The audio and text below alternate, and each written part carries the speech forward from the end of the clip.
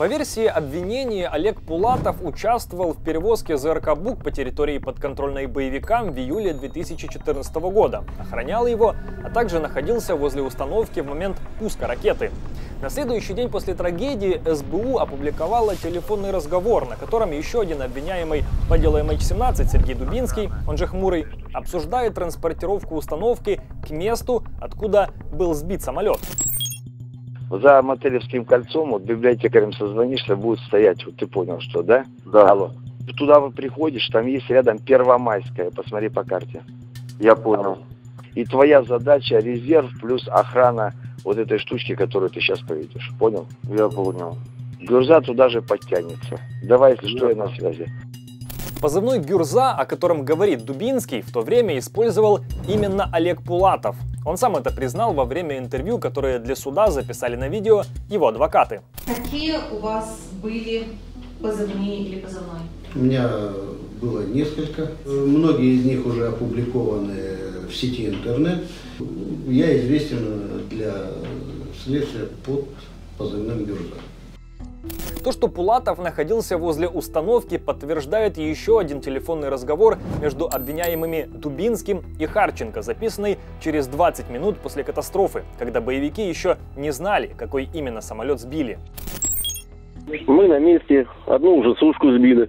Молодцы, ай, молодцы. Вот, одну сушку сбили, молодцы. Сегодня вечером задам вопрос, очевидно, ты уйдешь сюда, ведь оставишь одну роту на прикрытие э, бука и уйдешь сюда, наверное. Что тебе там делать? У тебя здесь работы хватает. И Гюрза уйдет сюда тоже. В день катастрофы был записан очень показательный разговор. Звонок сделан вечером, уже после запуска ракеты. Боевики обсуждают трудности, которые возникли с одним из членов экипажа во время перемещения зенитной установки. Алло, командир, а ты уехал уже, да? Я, да, я пошел по своей задаче, вы по своей. Да ты здесь боец потерялся с этой зенитной установки, свой экипаж по***л. Какой установки? Ну, с, с бука. С Бука? Да. А где он? Вот на блокпосту стоит.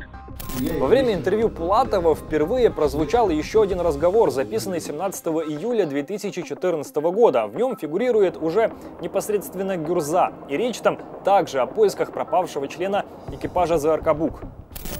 Алло, Олег.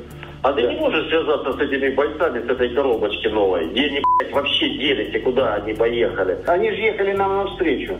Да, и вот я приехал сюда, их нету вместе сбора. И, блядь, бойца своего они одного забыли. Сейчас я попробую с ним связаться. В своих показаниях Пулатов не ставит под сомнение подлинность перехватов, но утверждает, что все упоминания о ЗРК «Бук» в разговорах боевиков – это сознательный обман. Это была дезинформация, которая была направлена на то, чтобы э, ввести противника в заблуждение о характере наших действий, добиться э, преимущества в некотором плане в тех э, тяжелых условиях, в которых мы находились. По мнению экспертов, подобные заявления не выдерживают критики, поскольку кроме перехватов есть множество других доказательств, которые подтверждают версию следствия. Понимаете, опять же, радиоигра, она должна эм, ну, содержать там процентов 60-70 неправды, лжи, дезинформации. Здесь абсолютно все четко совпадает, понимаете? То есть а такая интересная радиогра, когда противнику сливается стопроцентная информация даже в мелочах. Вот если эти разговоры э, привязывать к, к другим событиям, телефонные звонки, свидетели, которые видели Бук по а, этой трассе, свидетели, которые были там рядом на, э, из числа а, сепаратистов, которые все это видели, понимаете, то говорить, что эти телефонные разговоры не соответствуют действительности, это просто глупо. В то же время Пулатов в своих показаниях говорит об украинском Буке, который якобы был в районе катастрофы. Мы точно знали на тот момент, что в районе населенного пункта Зарощенска имелись э, развернутые на позициях системы БУК украинской армии. Впервые об украинском буке в Зарощенском заявили представители Министерства обороны РФ еще в июле 2014 года. Правда, доказательств этой версии международная следственная группа так и не получила.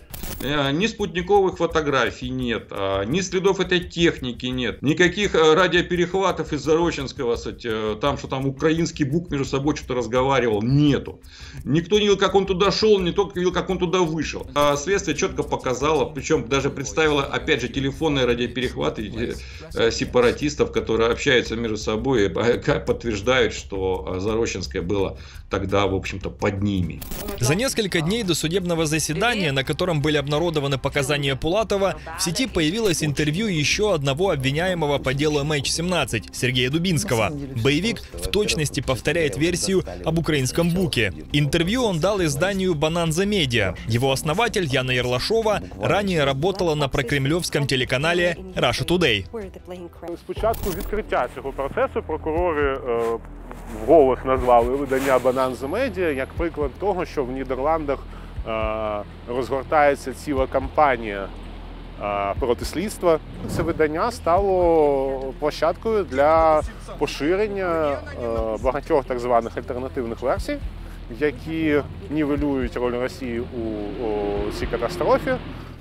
Так в чем же причина внезапной активности обвиняемых по делу MH17? Нідерландський адвокат Олега Пулантова, вони кажуть, що наш клієнт зробив заяву, він в цьому не винний. Давайте тоді перевіряти альтернативні версії. По-перше, вони сказали, а давайте перевіримо, чи дійсно все-таки з буку все-таки збили Боїнг. По-друге, давайте перевіримо, чи дійсно це був бук сепаратистів. Звідки ми взагалі взяли, що в сепаратистів був бук. З телефонних розмов давайте опитаємо всіх, хто в них брав участь.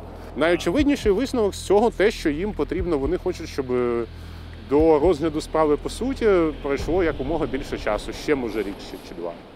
Российская оппозиция в том числе, что мы отрицаем обвинения, но создаем информационный шум, накидывая очень много версий разной степени достоверности и разной степени идиотизма. Для того, чтобы создать такое впечатление, что настолько все непонятно.